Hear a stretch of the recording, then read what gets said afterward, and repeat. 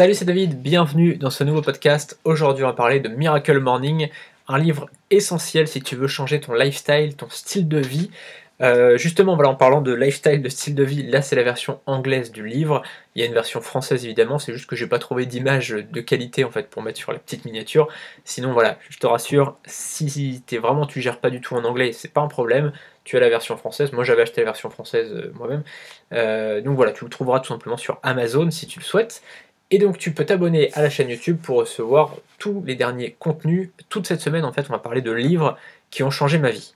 D'accord? On a parlé donc lundi, on a parlé de la semaine de 4 heures, mardi, on a parlé de euh, influence et manipulation, et aujourd'hui je voulais parler de Miracle Morning, qui est vraiment un livre important euh, pour moi et euh, pour toi. Je pense que si tu l'achètes, je pense que tu vas en retenir beaucoup de choses. C'est important parce que ça va t'apprendre à créer des routines quotidiennes. Je t'explique un petit peu le, pourquoi le livre a été créé. En fait, donc Al Elrod, donc c'est celui qui a écrit le livre, il était commercial dans une boîte, il était un très bon commercial dans, une société américaine.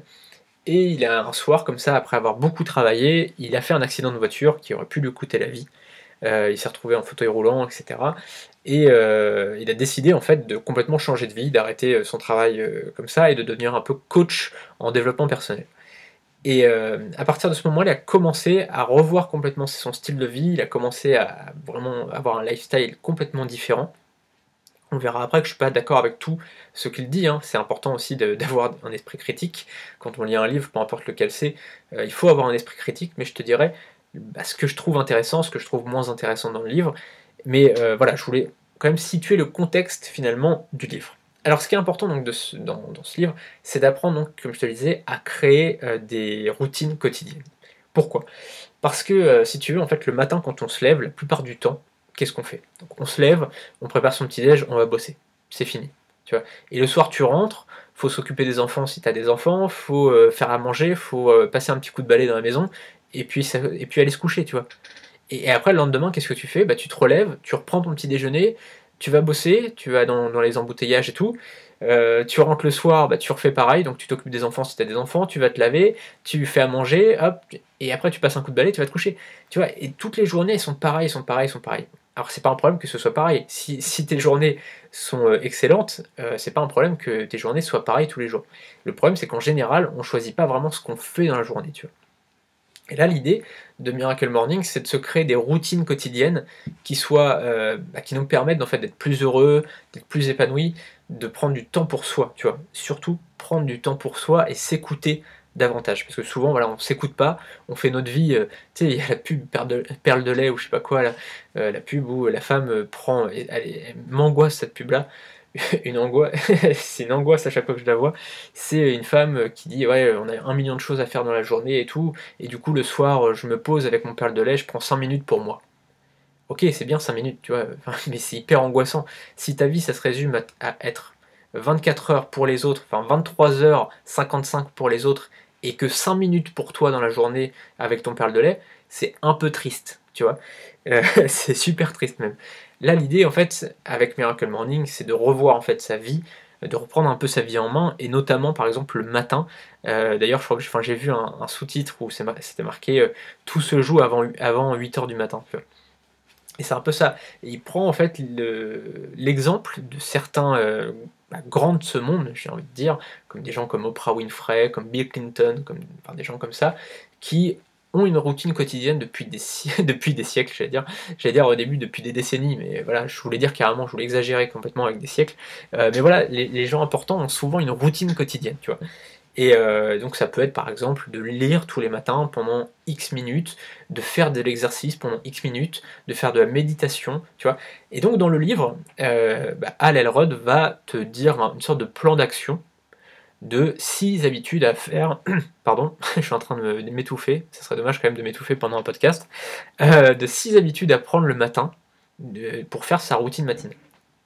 Alors après, évidemment, tu n'es pas obligé de prendre exactement la même chose tu peux très bien modifier, tu peux vraiment euh, euh, avoir une autre, une autre routine matinale, tu peux toi-même te fixer des choses par rapport à tes objectifs, par rapport à ton style de vie, etc.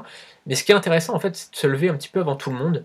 Tu vois, si par exemple, je sais pas, tes enfants ils se lèvent à 7h le matin, ta femme se lève à, 6h, à 7h le matin aussi, enfin ta femme ou ton mari, euh, ce qui est intéressant, c'est de te lever un petit peu avant et de te prendre juste une heure pour toi. Tu vois, pendant une heure, tu vas être tout seul, tu vas être tranquille euh, et tu vas pouvoir faire les choses pour toi. Tu vois, si tu as envie de faire de l'exercice, tu fais de l'exercice. Si tu as envie de lire, tu vas lire. Si tu as envie de faire du yoga, tu vas faire du yoga. Si tu as envie, euh, je sais pas, j'en sais rien, de méditer, tout simplement d'être dans le noir et puis de réfléchir à des choses, bah tu fais ce que tu veux. Si tu as envie de prier, si tu si es croyant, bah, tu peux prier, voilà, fais ce que tu veux en fait. Et c'est important d'avoir cette heure-là pour soi et euh, être calme, tu vois, et se retrouver soi-même, tu vois. C'est un, peu, c'est un peu finalement la philosophie du livre. Euh, évidemment, c'est beaucoup plus détaillé dans le livre. Forcément, je peux pas détailler un livre en, quelques minutes, mais c'est un peu l'esprit du livre, tu vois.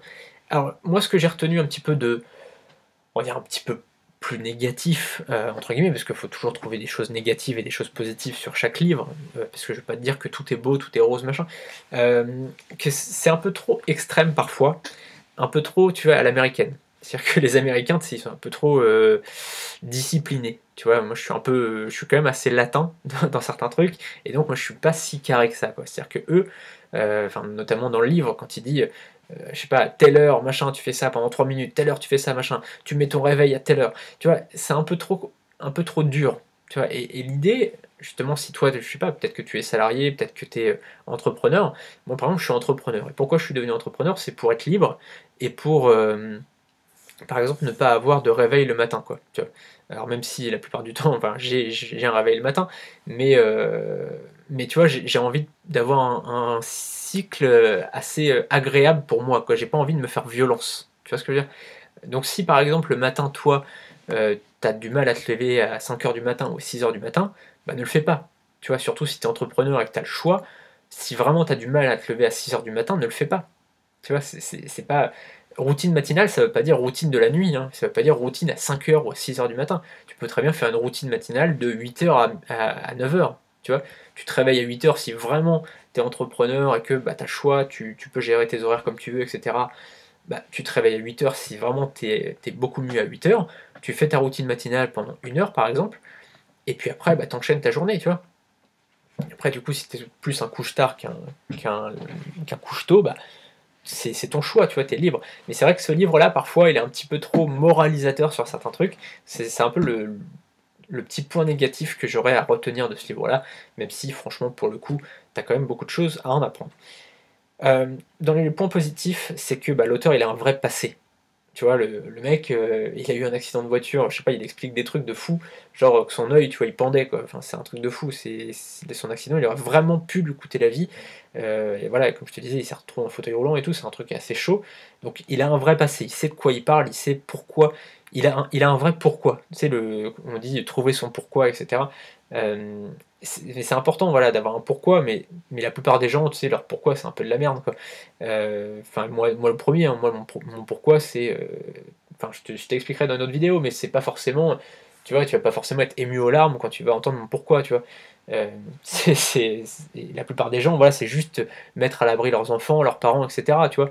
Lui, c'était euh, carrément, t'as l'impression que c'est une mission, t'as l'impression que le mec, il est, euh, c'est Jésus 2, quoi, le retour. Donc ça, pour le coup, voilà, il a un vrai pourquoi. ça, c'est plutôt dans les points positifs, parce que bah, le, gars, il veut vraiment aider les gens finalement à s'en sortir, même si évidemment il gagne beaucoup d'argent grâce à ça, mais t'as vraiment la sensation qu'il veut aider les gens. Et l'autre point positif, c'est que bah, si aujourd'hui t'es pas heureux, si aujourd'hui euh, voilà, tu te sens un peu euh, confus, moi j'ai eu des périodes comme ça de ma vie, euh, enfin notamment avant de me lancer, où, où vraiment voilà, j'étais confus dans ma vie, j'étais, je savais pas où j'allais, je savais pas. Voilà, je me levais, je me levais tard, j'avais pas de, de rythme, j'avais pas de. Tu vois, c'était, vraiment. C'était un cafouillage comme ma vie. Je savais pas du tout. je savais pas du tout où j'allais. Et d'ailleurs, rien qu'en parlant, tu vois, là, je, suis même confus sur le fait d'avoir été confus pendant ce temps-là, quoi. Parce que je sais pas du tout, je, j'ai même pas compris ce passage-là de ma vie, tu vois. Et là, en fait, l'idée, justement, avec ce livre-là, c'est un peu de se reprendre en main. C'est-à-dire de, se mettre vraiment une routine matinale, de se mettre des bonnes habitudes, de s'implémenter ça dans sa vie, et du coup de se mettre un petit peu un coup de pied au cul. Tu vois, je t'ai parlé de la semaine de 4 heures euh, il y a deux jours, et là, donc, je te parle de Miracle Morning parce que ce livre-là aussi, il te met un coup de pied au cul, il te change un peu ton mindset. Si aujourd'hui, voilà, tu as un petit peu tu sais pas trop où tu vas, etc., ça va te remettre un peu dans le droit chemin.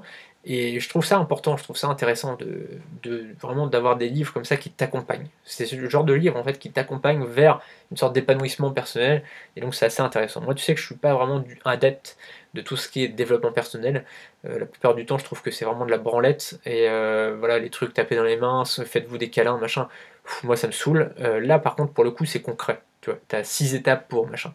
Tu vois, c'est concret. Moi, je suis assez tu vois, je suis assez rationnel sur pas mal de choses, et donc euh, moi les trucs, euh, les esprits, machin, les trucs, ça me gonfle assez rapidement, euh, les trucs de gratitude, machin, c'est gentil, mais voilà, moi je, je fais pas des bisous aux oiseaux quand je vais me promener dans le bois, quoi, tu vois, je suis assez rationnel comme garçon, et voilà, je veux juste avoir quelque chose d'efficace, être plus heureux dans ma vie, pouvoir rendre aussi les gens heureux à côté de moi, mais sans taper dans les mains, quoi. Voilà, donc c'était important que je te fasse cette petite vidéo parce que j'avais vraiment envie d'en parler depuis longtemps de ce livre-là, et donc c'était l'occasion, puisque je parle toute cette semaine de 7 livres qui ont changé ma vie. Donc tu peux t'abonner à la chaîne YouTube pour recevoir les différents contenus à chaque fois que je fais.